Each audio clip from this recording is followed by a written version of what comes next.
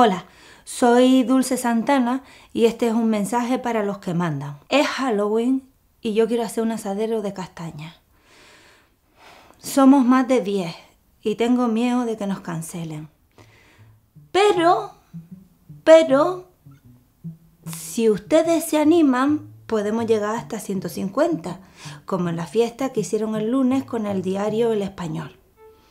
La cosa va a estar buena voy a tener piñas asadas, longorones, así, almóndigas de cochino negro, mejillones de roca, canario y pardelas de la isla de Alegranza, que ustedes son de gusto fino. ¡Anímense! Les dejo la dirección en la bio.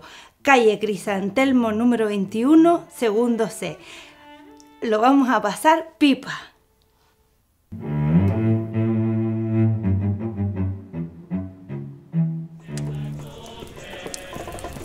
A ver,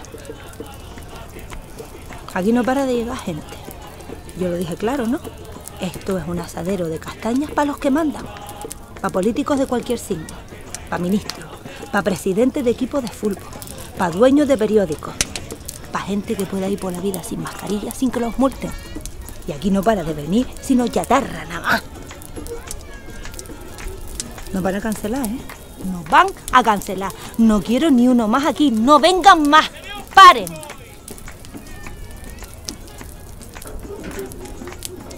Como es gratis, no vienen sino mandarle. Otro. Yo no tengo pardelas para tus gestos.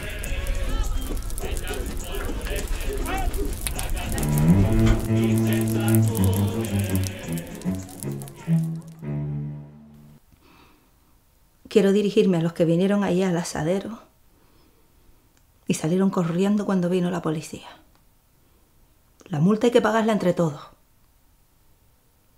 Mira que lo dije, no vengan más, no vengan más que nos van a cancelar. Y aquí no paraba de llegar morraya. Me acusan de asadero clandestino contra la salud pública y de delitos contra el medio ambiente el menú. Los longorones eran demasiado chicos. Los mejillones también se pusieron repugnantes. Y las pardelas. Las pardelas. Las pardelas ahora resulta que son especie protegida. ¿Desde cuándo?